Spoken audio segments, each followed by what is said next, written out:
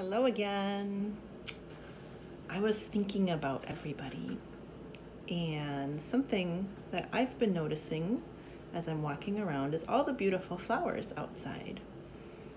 If we were at school, we would be doing some flower arranging, but since we're not, I thought I would show you some of the things you can use at home to do flower arranging with your family and with things that you find at home. Here's a little shot of some of the vases I have at my house, some of the things you can use to put flowers in. I just have a bunch of little jars and vases I've collected. There's an old salsa jar that I thought was pretty, an apple butter jar, a little vase uh, there's a jelly jar and just some other little containers that I use to put flowers in at my house. So those are some of the things you could use, but you can look around your house and see what kind of containers you have that might hold water and flowers. Let me show you some of the flowers I found in my yard today.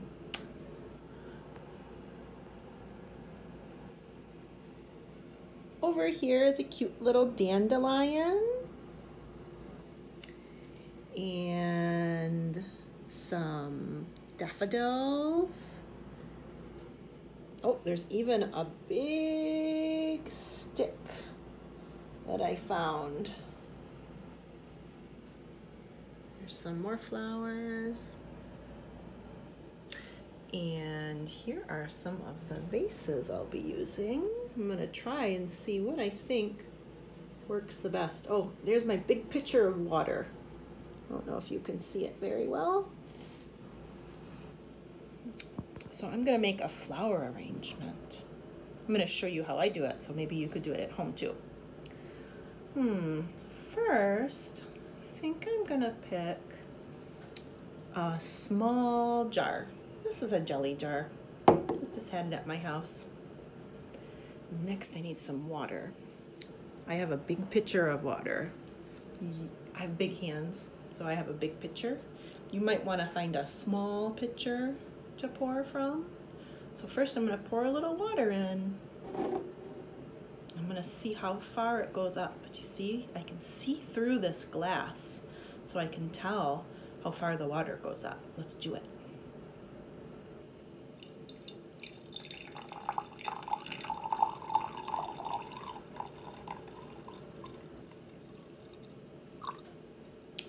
That's enough. That's about right there.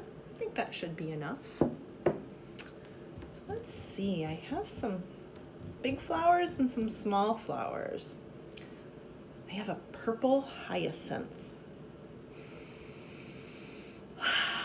It smells so good. I think that will fit nicely in here. There. And I found some leaves outside. So I think I'm gonna put that in there too. Hmm, that looks a little big. I think I'm gonna take it out and try a smaller leaf.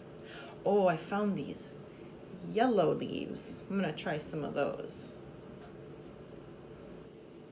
Yeah, and a little green leaf with a yellow stripe. And I think, I think my dandelions would fit good in there. You probably have these somewhere around. You could find them. There. There's my flower arrangement. I think I have enough flowers to make another one. So I think I'm gonna use this big blue jar. That might take a lot of water. Let's see. Let's see if we can see it when it goes all the way up.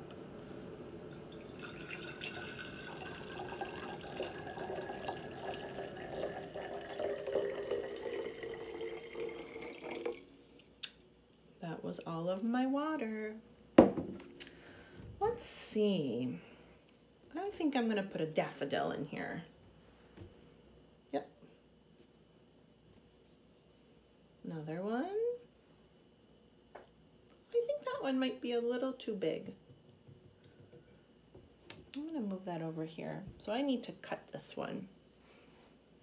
Appearance, when I have toddlers cutting, um, I always hold the stem like this and I ask them to cut between my fingers, between using child, you know, safe scissors.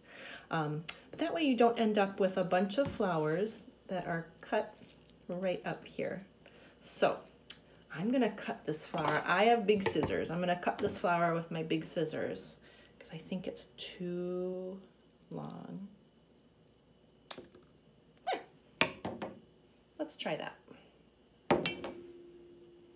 Oh yeah, I like that a lot better.